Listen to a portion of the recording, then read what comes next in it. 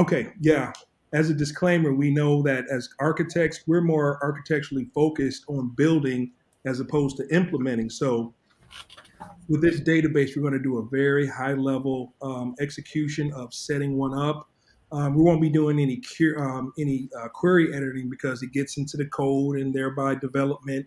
Um, so we're going to stay focused on what the concept of data, what what the database is, and being able to set one up. So here we go.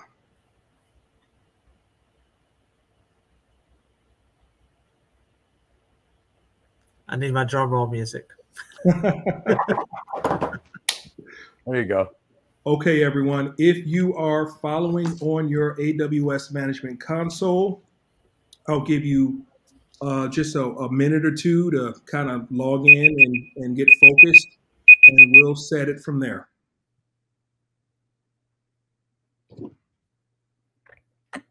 That that timer was the minute timer, by the way. Okay, well there it is. I'm just kidding. I'm just kidding. we have to hey, we got to follow what what Chris says. Go. So we got to stay focused. So okay, um, I am. Can you, um, do the, think, uh, can you do the? Can you zoom in a little bit? How's that for everyone? Is that okay? There we go. I think that should work. Okay. Okay. Wonderful. Okay. So we are, um, as we spoke, we're going to be working on databases, and specifically, we're going to go into our RDS management console and we're just going to set up a very simple, or rather, I'm going to follow through with what I've already pre-made um, for a database as it takes a while to spin up the uh, database cluster. So I'm just going to walk you through what I originally put forth um, already. So once you get to the AWS uh, Management Console, you're going to click on to RDS and you're going to arrive at the dashboard, okay? And we're going to create a database. So I'm going to switch my window already as we've already went through this. So as a create database, my focus was on uh, MySQL. It's very simple um, and wanted to just create that high level execution. And we're going to move over to the next screen. So I've already, um, I guess I've, I'll walk you through so that everybody is comfortable and understands what the execution is. So I pressed MySQL uh, SQL is a database. It is a structured relational database.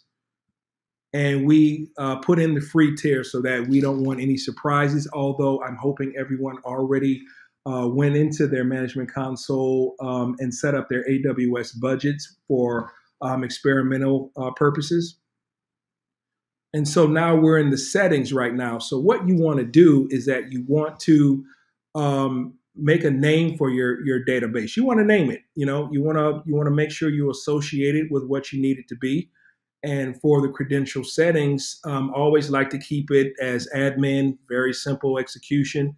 And you're going to create a very simplistic password for yourself so that you can access as the administrator into your, your database to make certain queries or uh, make adjustments as necessary. You want to also confirm your password.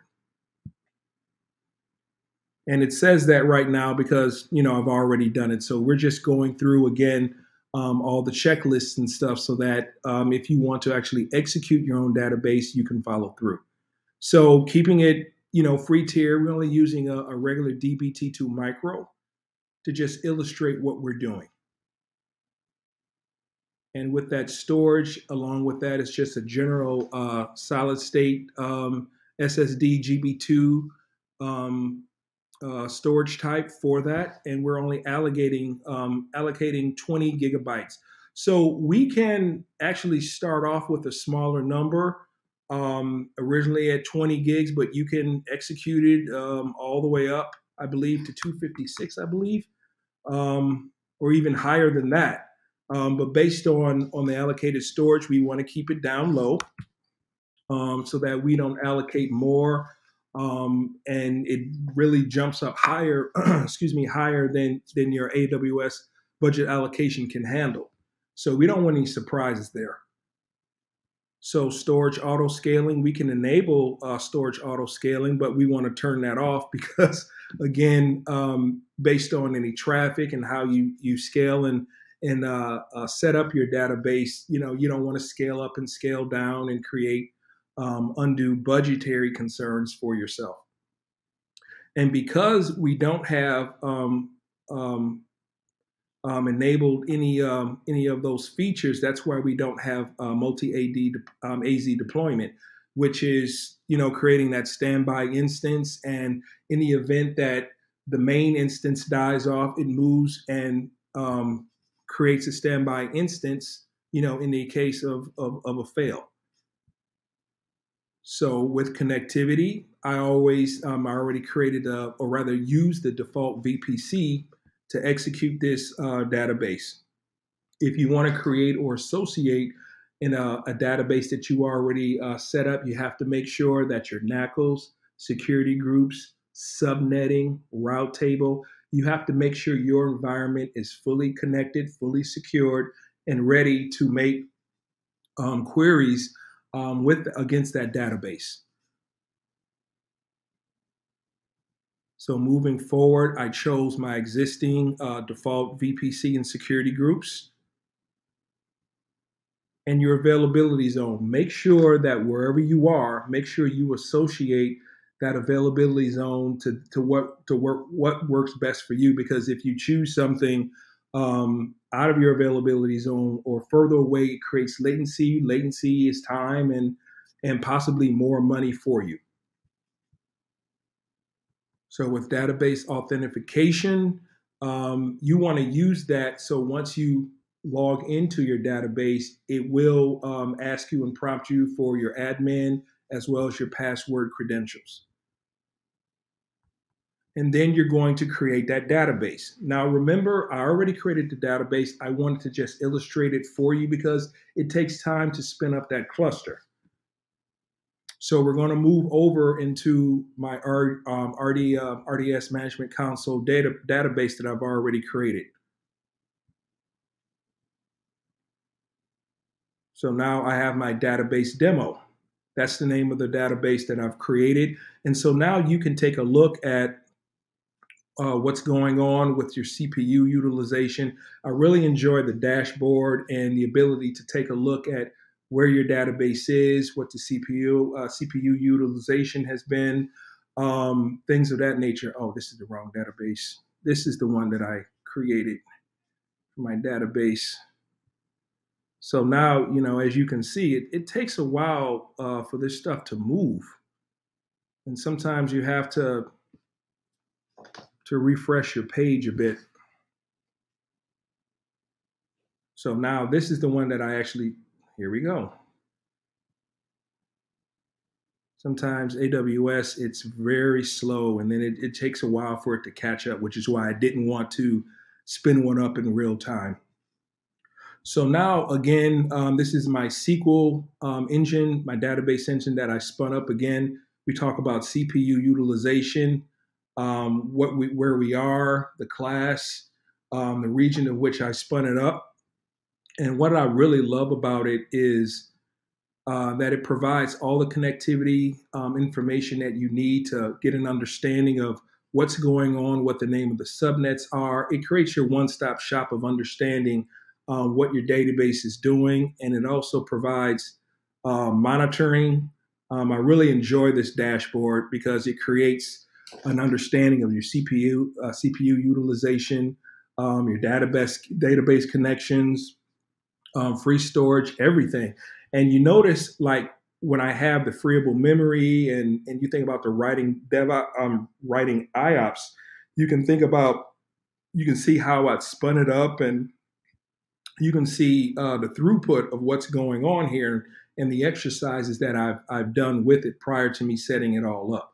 So I really like the dashboard on what's going on and and how you can get things going. So in the event you ever want to use, if you want to query against it, you this is where you connect to your database. You you know you have your database instance cluster. You choose that database. Um, you choose all your associated database username, password, and enter the name of the database that you you set up originally. I'm not going to go down this path. I just want to illustrate because this is where it gets into the developer piece of um, querying against your database based on um, on the strings and, and, and everything else associated with it. So um, that's what that's how you set up uh, set up yeah that's how you set up the database um, the query database for yourself um, specifically for SQL. Uh, really, um, it's just really instrumental in making sure that you keep your your administrative you know admin password and information available for yourself so that you won't forget it because you know there's nothing worse than like we discussed before is not is locking yourself out of your own system. So ensure that you have your information and your database uh, stuff available.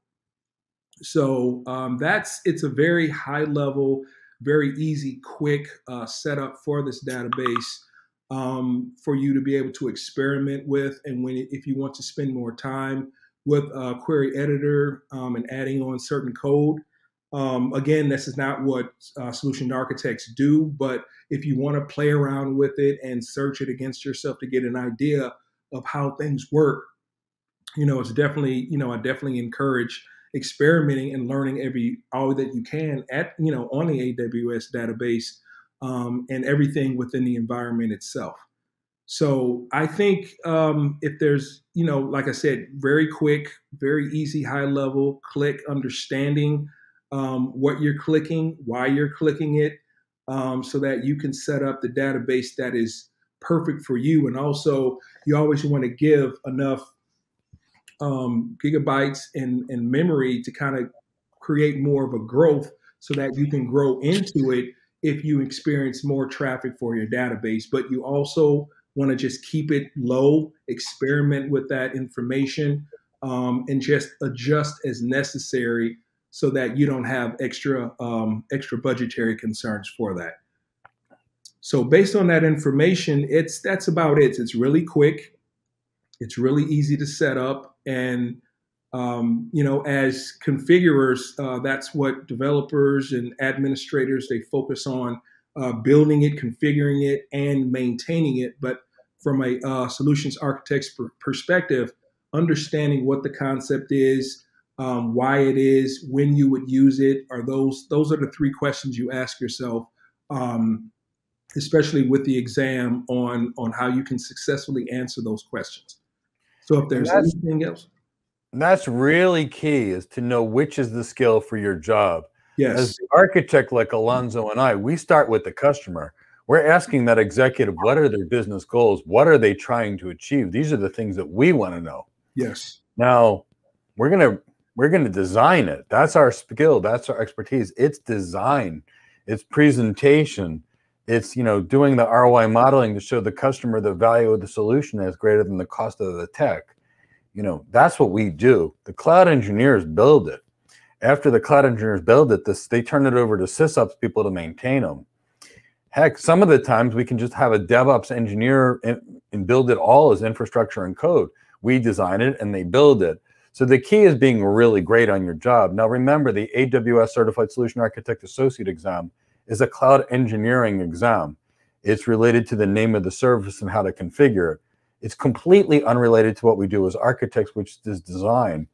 We solve business problems with technology. So please kind of keep those things in mind. And that's why, you know, when you get architects like me and Alonzo, we still know how to configure because you still have to know how but we don't do it. It's not part of our careers. Like by comparison, a cloud engineer that's an expert at these things may not be able to convince the CEO to spend a billion dollars on a technology solution because that's not what they do. They would have no idea what the CEO needs to hear, what they care about. It's a completely different world.